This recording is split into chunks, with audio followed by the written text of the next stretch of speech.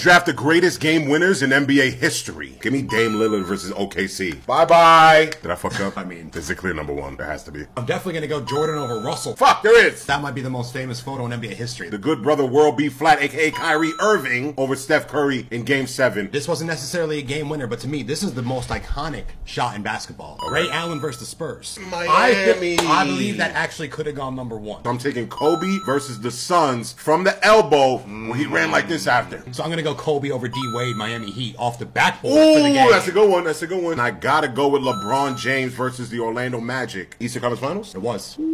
Steph Curry versus OKC double bang from 50 Oh. feet away. Gotta have the king on here one last time. Against the Warriors. I believe it might have been his first silencer. Yeah! I want Jeremy Lin versus Toronto. With the, Ooh, insanity! with the band-aid hanging off his chin and Landry Fields chest bumping him at the bench. Big time shots by big time brothers.